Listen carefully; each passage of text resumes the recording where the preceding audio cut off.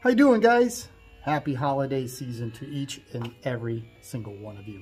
Uh, 2023 was a great year. The channel grew a lot. I'm way over, or not way over, but I'm over uh, 5,000 subscribers. That happened this year. The senior project uh, is back on track, and we're working right now. I am trying to find a clutch disc for it. Um, been working on that. The engine's right behind you. Uh, that'll be going to the machine shop pretty soon for some work. So a lot of things going on. Plus I have a couple new ideas for the channel. I'm hoping to do an interview with uh, certain individuals in the tractor community. So hopefully you'll find that interesting.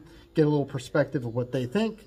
Maybe take a look at their collections, things like that. So hopefully that'll interest you also. So with that being said, we'll keep this short. Thank you very much. Happy holiday season.